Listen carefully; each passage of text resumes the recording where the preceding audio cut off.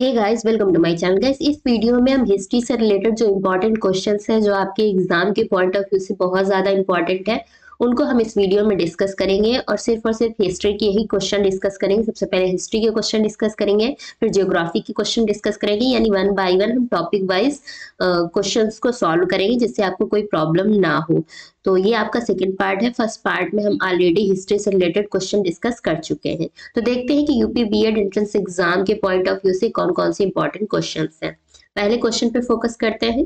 तो जो आपका पहला क्वेश्चन दिया हुआ उसमें पूछ रहा है कि खजुराहो का कदरिया महादेव मंदिर जो है, वो किसने बनवाया है? ऑप्शन आपके पास परमार, चेदी, राष्ट्रकूट या चंदेल। आपको कमेंट करके बताना है कि इनमें से कौन सा सही है और खुद एनालाइज भी करना है कि आप कितने क्वेश्चन सही कर पा रहे हैं।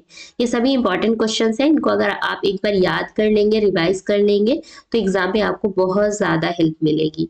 तो इसमें बताइए कि राइट ऑप्शन कौन सा हो जाएगा। तो गाइस यहाँ जो आपका डी ऑप्शन है, वो करेक्ट हो जाएगा कि जो खजुराहो का कंदरिया महादेव मंदिर है, वो चंदेल शासकों ने बनवाया था। तो यह डी ऑप्शन करेक्ट है। फिर पूछ रहा है कि चोलों का राज्य किस क्षेत्र में फैला था? यानी जो चोल राज्य था, चोल वंश का राज राज्य था, वो किस क्षेत्र में फैला था? ऑप्शन आपके पास विजयनगर क्षेत्र, मालाबार तट डोयल या कोरोमंडल तट, दक्कन के कुछ भाग। तो बताइए इसमें से राइट ऑप्शन कौन सा हो जाएगा? तो यहाँ आपका डी ऑप्शन सही हो जाएगा कि जो कोरोमंडल तट है, दक्कन के कुछ भाग, वहाँ तक चोलों का राज्य फैला हुआ था। तो यहाँ आपका डी ऑप्शन करेक्ट हो जाएगा। फिर पूछ रहा है कि मीनाक्षी मंदिर जो है वो कहाँ स्थित है? तंजोर में, मेखला में, मदुरई में या महाबलीपुरम में? तो कमेंट करके बताइए इसमें से कौन सा सही हो जाएगा। तो यहाँ आपका सी ऑप्शन सही है। मीनाक्षी मंदिर मदुरई में स्थित है। तो यहाँ आपका सी ऑप्शन एकदम करेक्ट हो जाएगा। नेक्स्ट क्वेश्चन देखते हैं। नेक्स्ट क्वेश्चन में कह रहे हैं कि भारतीय दर्शन की प्रारंभिक शाखा कौन सी है? कई सारी शाखाएँ हैं, जैसे सांख्य दर्शन वैशेषिक मीमांसा, चार वाक तो चार ऑप्शन है आपके पास। और आपको बताना है कि भारतीय दर्शन की प्रारंभिक शाखा कौन सी थी? तो राइट ऑप्शन बताइए, कौन सा हो जाएगा? तो यहाँ आपका ए ऑप्शन करेक्ट हो जाएगा कि जो सांख्य दर्शन है, वो भारतीय दर्शन की प्रारंभिक शाखा मानी जाती है। तो यहाँ ए ऑप्शन करेक्ट है। फिर पूछ रहा है कि मालवा गुजरात और महाराष्ट्र किस शासक ने पहली बार जीता, यानी जो मालवा का क्षेत्र है गुजरात का क्षेत्र है और महाराष्ट्र। तो इन तीनों राज्यों को पहली बार जो जीता था, वो किस शासक ने जीता था, ये आपको बताना है। ऑप्शन देख लेते हैं कि कौन कौन से ऑप्शन ऑप्शन दिए हुए हैं। तो यहाँ जो आपको ऑप्शन गिवन है, वो है हर्ष, स्कंदगुप्त, विक्रमादित्य, चंद्रगुप्त मौर्य। तो बताइए इनमें से कौन सा सही हो जाएगा? तो यहाँ आपका जो राइट ऑप्शन है वो है चंद्रगुप्त मौर्य, जो मौर्य वंश के शासक थे और इन्होंने मौर्य वंश की स्थापना भी की थी। किसने? चंद्रगुप्त मौर्य ने। और इन्होंने ही पहली बार महाराष्ट्र, गुजरात और मालवा का जो क्षेत्र है मालवा का जो क्षेत्र है वो पहली बार जीता था। तो यहाँ आपका डी ऑप्शन करेक्ट हो जाएगा। नेक्स्ट क्वेश्चन देखते हैं। इस क्वेश्चन में कह रहा है कि कुषाण शासक कनिष्क का राज्यभिषेक किस सन में हुआ? यानी जो कुषाण वंश के शासक थे कनिष्क। बहुत ही फ़ेमस शासक रहे हैं ये कुषाण वंश के। तो वही पूछ रहा है कि इनका जो राज्यभिषेक हुआ था, वो किस सन में हुआ था? एक सौ अठहत्तर ईसा पूर्व, एक सौ एक ईस्वी अट्ठावन ईसा पूर्व या अठहत्तर ईस्वी? बताइए इसमें से राइट ऑप्शन कौन सा हो जाएगा? गाइस यहाँ जो आपका राइट ऑप्शन है, वो है ऑप्शन नंबर डी अठहत्तर ईस्वी में इनका राज्यभिषेक। हुआ था। नेक्स्ट क्वेश्चन देखते हैं। इस क्वेश्चन में कह रहा है कि सांची का स्तूप किस शासक ने बनवाया था? बिंबिसार ने, अशोक ने, हर्षवर्धन ने या पुष्यमित्र ने? तो यहाँ आपका बी ऑप्शन करेक्ट हो जाएगा कि जो सांची का स्तूप है, वो अशोक ने बनवाया था। और ये किस वंश के शासक थे, ये आपको बताना है। अशोक मौर्य मौर्य वंश के शासक थे और इनके जो पुत्र थे संघ पुत्री थी संघ मित्रा और ये बुद्ध, बौद्ध धर्म के अनुयायी थे। तो यहाँ आपका बी ऑप्शन करेक्ट हो जाएगा। फिर पूछ रहा है कि सत्यमेव जयते शब्द कहाँ से लिया गया है? यानी सत्यमेव जयते आपने सुना होगा, बहुत ही फ़ेमस शब्द है। और पूछ रहा है कि कहाँ से लिया गया है? मनुस्मृति से, भगवत गीता से, ऋग्वेद से, या मुंडको उपनिषद से? तो यहाँ आपका डी ऑप्शन सही हो जाएगा कि जो सत्यमेव जयते हैं, ये मुंडको उपनिषद से लिया गया है। यानी मुंडक उपनिषद है उसी में से सत्यमेव जयते शब्द लिया गया है। तो डी ऑप्शन करेक्ट है। फिर पूछ रहा है कि रामानुजाचार्य किससे रिलेटेड है? यानी रामानुजाचार्य जो जी जो है, वो किससे रिलेटेड है? भक्ति से, द्वैतवाद से, विशिष्टा द्वैतवाद या एकेश्वरवाद? तो बताइए इसमें से कौन सा सही हो जाएगा? तो यहाँ जो आपका राइट ऑप्शन हो जाएगा, वो हो जाएगा विशिष्टा द्वैतवाद। जो आपके रामानुजाचार्य है, वो विशिष्टा द्वैतवाद से रिलेटेड होते हैं आपका सी ऑप्शन करेक्ट है। फिर पूछ रहा है कि किस दक्षिण भारतीय राज्य में उत्तम ग्राम प्रशासन था? यानी कि जो ग्राम प्रशासन था, वो उत्तम यानी कि बहुत ही अच्छी कंडीशन पे था। ऑप्शन आपके पास शेर चालुक्य, चोल या वातापी। तो बताइए इसमें से राइट ऑप्शन कौन सा हो जाएगा? तो यहाँ आपका सी ऑप्शन सही हो जाएगा कि चोल वंश के जो शासक थे, दक्षिण भारतीय राज्य थे, उसमें उत्तम गाँव मतलब ग्राम प्रशासन था। ग्राम मतलब गाँव से रिलेटेड विलेज से रिलेटेड था। तो यहाँ आपका सी ऑप्शन करेक्ट है। नेक्स्ट क्वेश्चन देखते हैं। इस क्वेश्चन कह रहा है कि दिलवाड़ा जैन मंदिर कहाँ स्थित है? यानी दिलवाड़ा का जो जैन मंदिर है जो जैनियों द्वारा बनवाया गया था वो कहाँ पर स्थित है? असम में उत्तर प्रदेश में राजस्थान में या मध्य प्रदेश में? तो यहाँ आपका सी ऑप्शन करेक्ट हो जाएगा। दिलवाड़ा का जैन मंदिर राजस्थान में स्थित है। फिर कह रहा है कि बुद्ध के उप, उपदेश जो थे यानी कि बुद्ध ने जो अपने उपदेश दिए गौतम बुद्ध जी ने वो किससे रिलेटेड थे? आत्मा संबंधी विवाद से रिलेटेड थे, ब्रह्मचर्य से रिलेटेड थे, धार्मिक कर्मकांड से रिलेटेड थे, या आचरण की शुद्धता व पवित्रता से रिलेटेड थे। ये क्वेश्चन कई बार रिपीट हुआ है तो इसे ध्यान से पढ़िएगा। तो यहाँ जो इंपॉर्टेंट हो जाए यहाँ जो मतलब कि आपका राइट ऑप्शन हो जाएगा हो जाएगा ऑप्शन नंबर डी भगवान बुद्ध ने आचरण की शुद्धता व पवित्रता से रिलेटेड उपदेश दिए। धार्मिक कर्म कांड या आत्मा संबंधी विवाद, इनसे रिलेटेड इन्होंने उपदेश नहीं दिए थे। इन्होंने आचरण की शुद्धता व पवित्रता को सर्वश्रेष्ठ रखा और उसी से रिलेटेड इन्होंने उपदेश दिए थे। तो यहाँ आपका डी ऑप्शन करेक्ट है। फिर पूछा है कि चालुक्यों की राजधानी कहाँ थी? वातापी, श्रावस्ती, कांची या कन्नौज? यहाँ बताइए राइट ऑप्शन कौन सा हो जाएगा? तो यहाँ आपका ए ऑप्शन करेक्ट हो जाएगा। चालुक्यों की जो राजधानी थी, वो वातापी थी। ए ऑप्शन करेक्ट है। नेक्स्ट क्वेश्चन देखते हैं।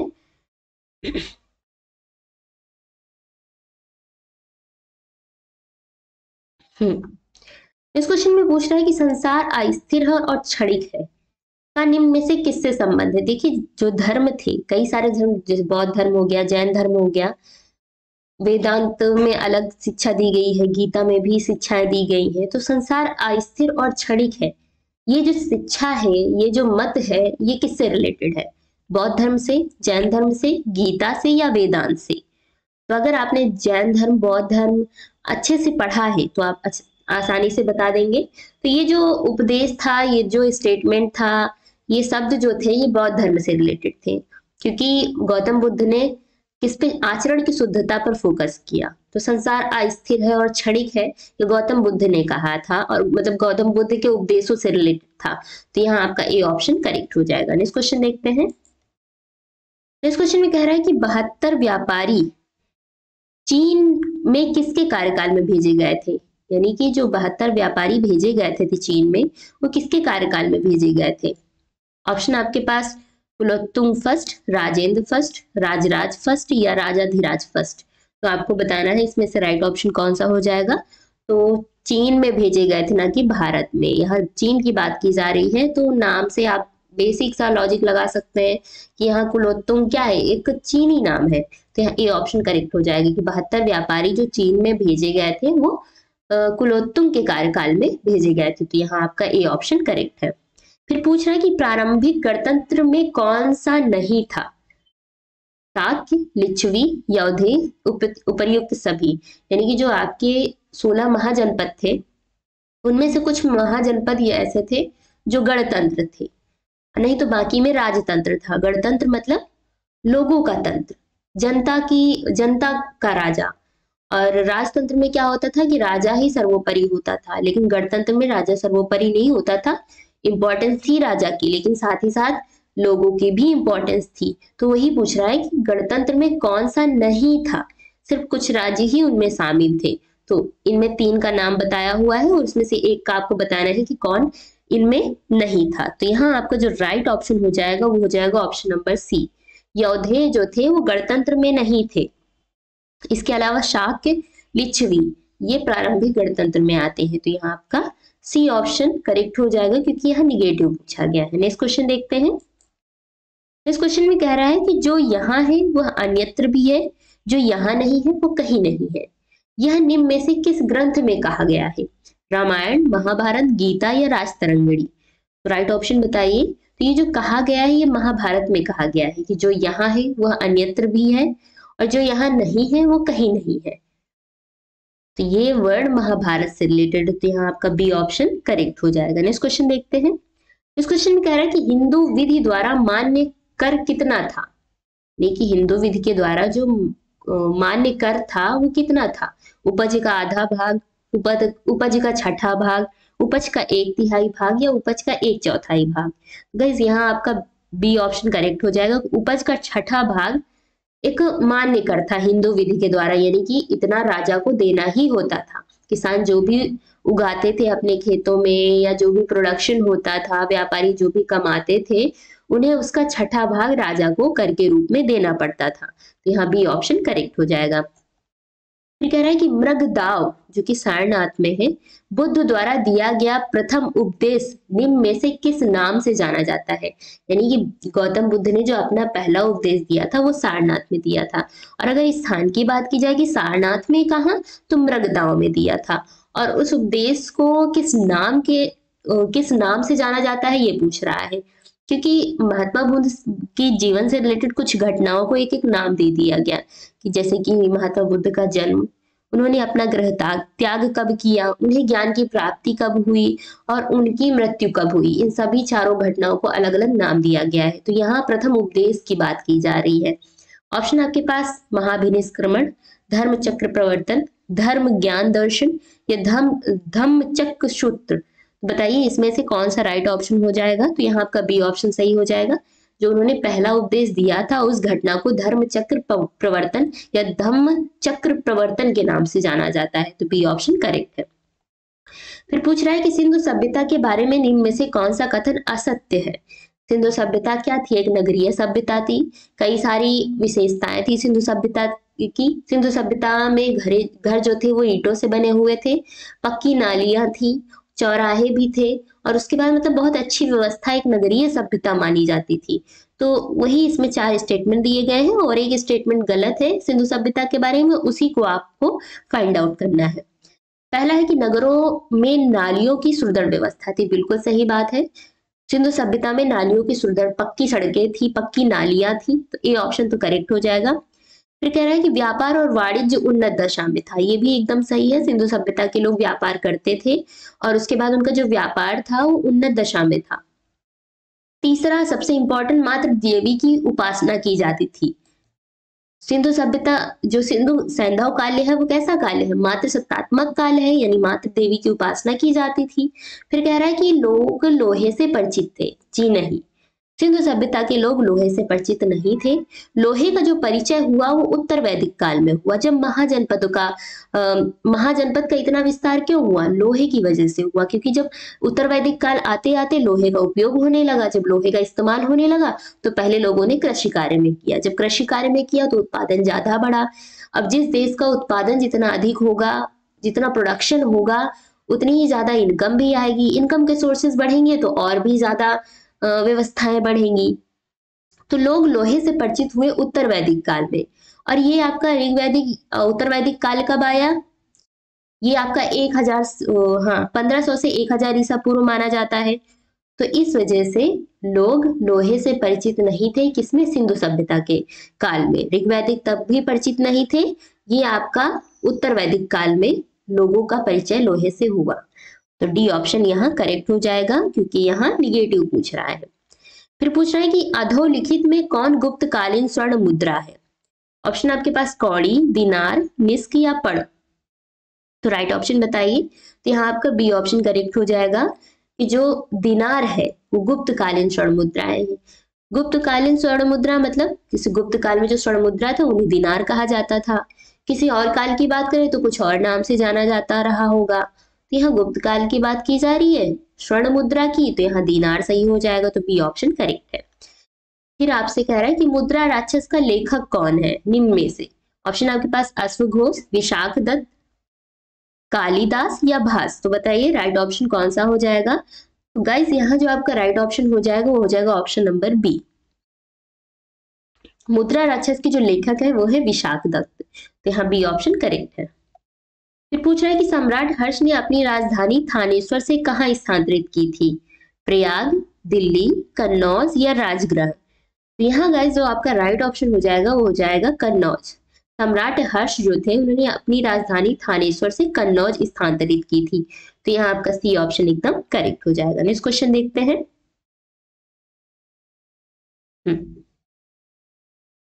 Just a minute next question में आपसे कह रहा है कि अंकोर वाट का मंदिर कहाँ पर स्थित था? और स्थित है। अंकोर वाट का जो मंदिर है, वो कहाँ स्थित है? स्थान आपसे पूछ रहा है। चार ऑप्शन है, जावा, सुमात्रा, कंबोडिया या चंपा।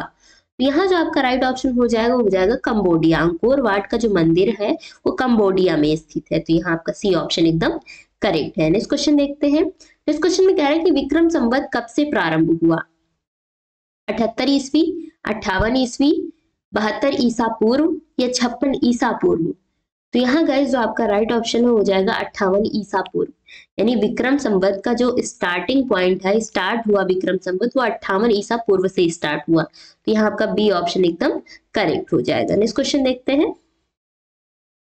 नेक्स्ट क्वेश्चन में क्या दिया हुआ है? एक तरफ़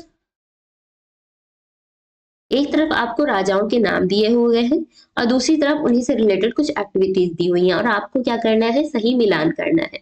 अब बताइए, अकबर का जो, अकबर का किससे मतलब कि सही मैच हो जाएगा?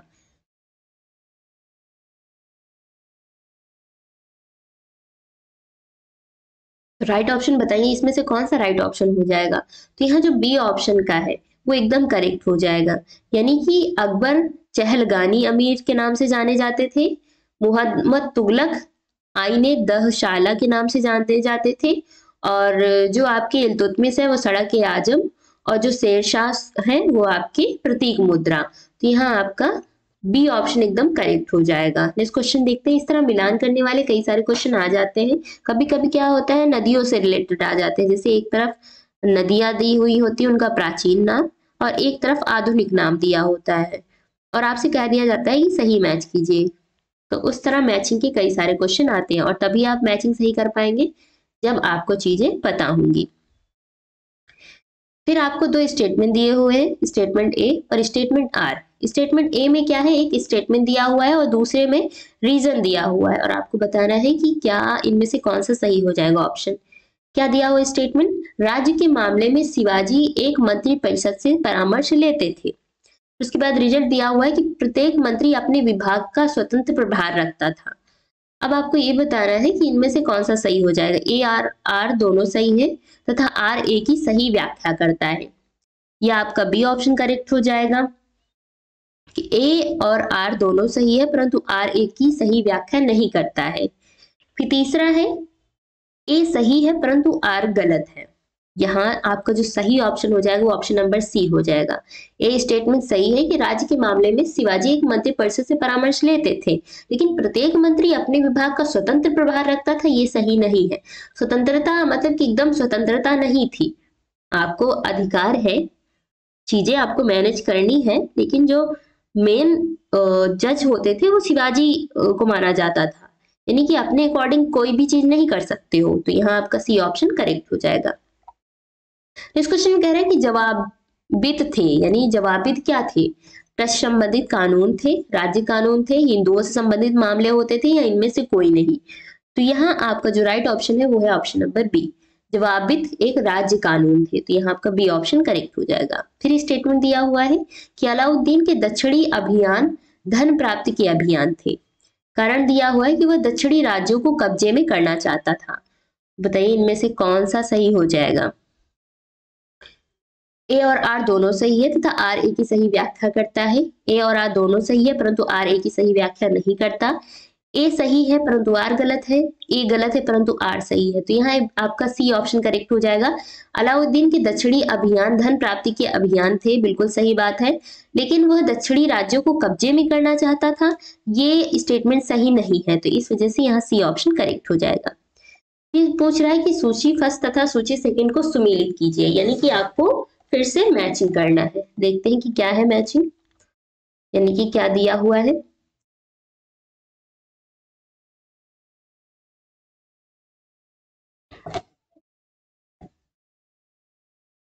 अब बताइए कि फिरोज तुगलक से रिलेटेड क्या था?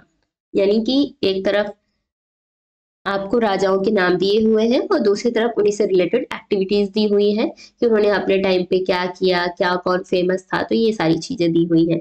और आपको बताना है कि इनमें से सही ऑप्शन कौन सा हो जाएगा। देखिए, जो फिरोज तुगलक थे, वो किससे रिलेटेड थे? Sir Thomas Roe. और जो बलबन था, वो आपके दीवाने रियासत से रिलेटेड था। अलाउद जो अलाउद्दीन थे, वो नरोज थे और जहांगीर नहरों का निर्माण, यानी नहरों का निर्माण सबसे पहले किसने करवाया था? जहांगीर ने करवाया था। तो यहाँ डी ऑप्शन, तीसरे से मैच हो जाएगा अलाउद्दीन किससे मैच हो जाएँगे? नौरोज से बलबन, दीवाने रियासत तो Firoz Firoz Tughlaq, sir Thomas Roe. तो यहाँ जो आपका राइट ऑप्शन हो जाएगा ऑप्शन नंबर बी हो जाएगा। यानी हमने फ़र्स्ट सूची को सेकंड सूची से सही सही सुमेलित कर दिया है, सही मैच कर दिया है। तो इस वीडियो में हमने टोटल थर्टी क्वेश्चन डिस्कस किए हैं। अगर किसी भी क्वेश्चन में कोई भी प्रॉब्लम है तो आप उसे कमेंट करके पूछ सकते हैं। अब एग्ज़ाम का क्या है? डे बाई डे नए पैटर्न आते रहते हैं और नए पैटर्न में यही है कि आपका मैचिंग से रिलेटेड कई सारे क्वेश्चन आ सकते हैं। तो इस तरह आप अगर डिटेल में पढ़े होंगे तो आपको चीज़ें पता होंगी। डिटेल में नहीं पढ़ेंगे तो आपको चीज़ें नहीं पता होंगी। तो इसलिए एग्ज़ाम जितना इजी आपको लग रहा है, उतना है नहीं। अगर आपकी प्रिपरेशन अच्छी रहेगी, बहुत अच्छी प्रिपरेशन है, बहुत अच्छी पकड़ है, तभी आप गवर्नमेंट कॉलेज पा पाएँगे मिलेगा। क्योंकि बहुत ज़्यादा गवर्नमेंट सीटें नहीं होती। दस हज़ार गवर्नमेंट सीटें हैं और बच्चे दस लाख होते हैं। तो कंपटीशन बहुत ज़्यादा हाई है और इसके लिए आपको बहुत ही अच्छी प्रिपरेशन की नीड है। तो अगर आपको कोई भी क्वेश्चन में डाउट है तो आप मुझसे कमेंट करके पूछ सकते हो। और इससे अभी इंपॉर्टेंट क्वेश्चन ये आपका पार्ट टू है। नेक्स्ट वीडियो में हम इससे आगे की जो भी इंपॉर्टेंट क्वेश्चन है हिस्ट्री के, जो UP B Ed entrance exam के पॉइंट ऑफ़ व्यू से इंपॉर्टेंट उनको डिस्कस करेंगे। प्लीज़ वीडियो को लाइक कर दे और चैनल को सब्सक्राइब कर लें, क्योंकि यहाँ आपको डेली वीडियोज़ मिलते रहेंगे। और सब्जेक्ट वाइज हम प्रिपरेशन करेंगे, ये नहीं कि पहले हमने हिस्ट्री के कुछ क्वेश्चन किए, फिर जोग्राफी के कर रहे हैं पॉलिटी के कर रहे हैं। वन बाई वन सारी चीज़ें डिस्कस करेंगे। सबसे पहले हिस्ट्री को हम क्वेश्चन सॉल्व करेंगे, फिर उसके बाद जियोग्राफी फिर पॉलिटी फिर कॉन्स्टिट्यूशन मतलब इसी तरह फिर हम रीजनिंग में आ जाएँगे, हिंदी आ जाएगा हमारा, फिर लास्ट में हमारा ऑप्शन वाला सब्जेक्ट आ जाएगा, इस तरह हम सारी चीज़ें वन बाय वन डिस्कस करेंगे। तो प्लीज़ वीडियो को लाइक कर दें और चैनल को सब्सक्राइब कर दें। Thank you